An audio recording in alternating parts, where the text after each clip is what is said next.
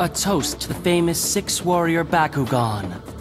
The most powerful Bakugan of each attribute, and you're all mine. so tell me, why do I only have five? Uh, Spectra! What is going on? You defeated the human, and yet I still have no Pyrus Dragonoid in my collection! Why, yes. My apologies to you, Prince Hydron. You're supposed to be the best brawler on New Vestroia. So prove it! I understand your frustration. I will not fail, but these things take time, my lord. Well, okay then. I'm counting on you, Spectra. It would be unwise to disappoint me. I expect to hear good news from you soon.